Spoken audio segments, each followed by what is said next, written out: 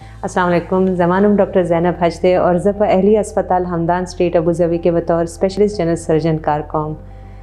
ما ایم بی بی ایس 2008 کې کړو او په جنرال سرجری کې فیلوشپ 2015 کې کالج اف فزیشنز اینڈ سرجنز پاکستان لاهور نه کړو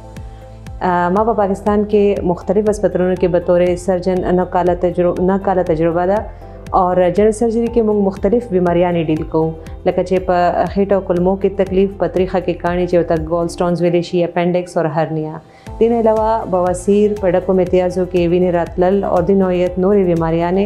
او د خپو رګونو پر سیدل چې ورته ویریکوز وینز ویل شي او په شوګر وجه باندې خپو کې زخم جوړېدل یعنی ډایبټیک فوټ د ټولو بیماریانو علاج په سرجری کې مونږ کو تریخي اپریشن کیمرې یعنی لیپروسکوپ په ذریعه کیږي چې زخم ډیر معمولی پکې تاسو خپل